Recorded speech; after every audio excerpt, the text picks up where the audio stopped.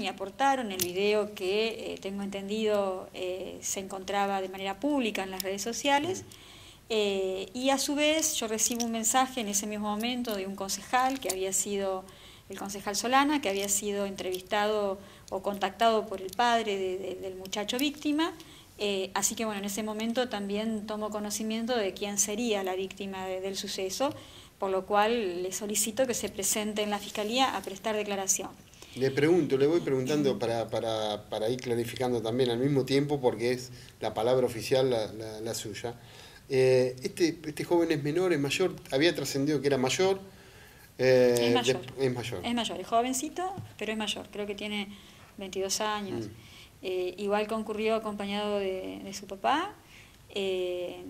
por supuesto yo lo, lo, hice pasar al despacho, tomé su declaración en presencia de él, el papá fue el testigo de la actuación de las declaraciones. Eh, las lesiones sufridas en este caso han sido leves, eh, de carácter leves, eh, así caracterizadas por, por el médico. tiene un golpe en el rostro, si bien fue constatado algunos días después, porque esto había pasado en la madrugada del viernes, y yo tomo conocimiento y comenzamos a trabajar el día lunes, mm. pero bueno, igual hubieran sido de carácter leves. Creo que lo interesante de esto es que más allá de este caso puntual, es una preocupación de todos. Eh, si bien las lesiones leves en esta, instancia serían un delito de instancia privada, eh, se convierten en una situación de interés público. ¿sí?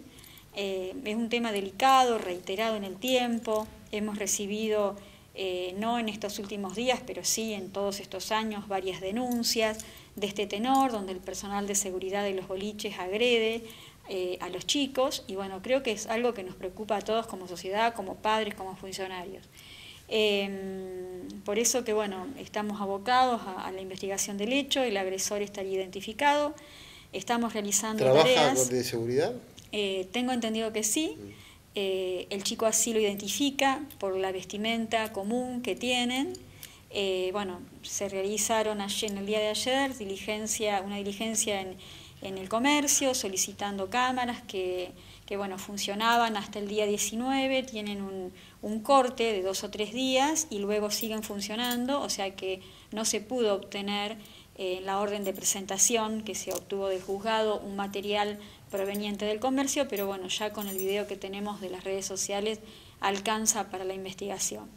Así que bueno, se continuará afianzando la misma, tomando los testimonios de interés eh, y eh, desde la subsecretaría, como te dije, de seguridad, también se planteó eh, la situación de que el personal policial llega al momento y bueno, estoy consultando mediante oficios si se han labrado actuaciones al respecto y qué proceder tuvo el personal policial para también investigar eh, esta circunstancia. ¿sí? A simple vista de lo que se ve en el video, el proceder de, la policía, lo que no sabemos si ese video fue cortado o no. Imagina uno que, por lo que cómo se desarrolla el video y por conocer cómo es la historia, no se corta el video ahí, pero bueno, pero todo puede pasar. Eh, y los policías no habrían intervenido. Si bien se bajan del vehículo y están allí, no habrían intervenido. Cuando decimos no habrían intervenido es decir, bueno, la persona agresora hay que llevarla por lo menos eh, a la dependencia policial. Sí, el, muchacho víctima me refiere en relación a esto que se acerca un patrullero con tres efectivos masculinos, que uno desciende y que él le explica de que ahí no había pasado nada. Entonces supongo que el análisis específico va a ser tratar de determinar si el personal policial advirtió la escena o se quedó con el comentario de que ahí no había pasado nada.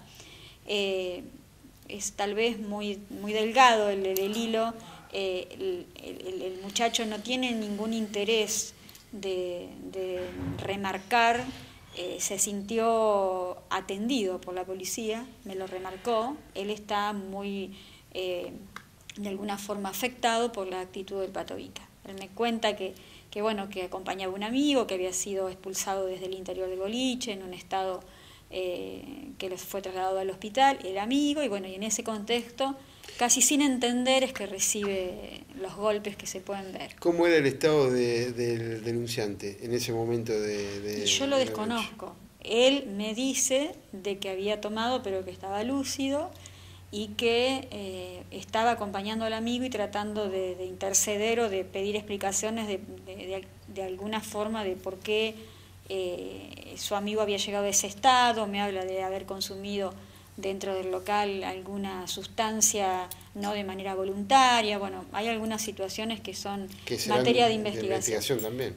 desde el lado penal se va a investigar el posible incumplimiento del funcionario, de los funcionarios policiales que arriben, teniendo en cuenta esto que te digo, de, lo que ha expresado la víctima, se va a investigar em, la situación de, del delito de lesiones leves, por lo cual la víctima ha instado la acción penal, es su voluntad seguir con la causa adelante.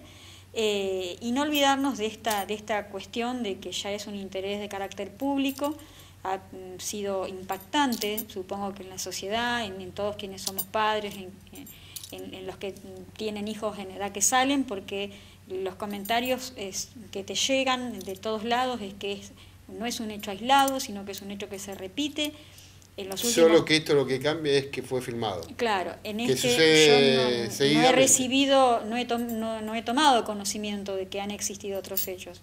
Es lo que los chicos mismos cuentan a sus padres eh, y, ahora con el surgimiento de este hecho refieren de que podría haber eh, otras situaciones similares.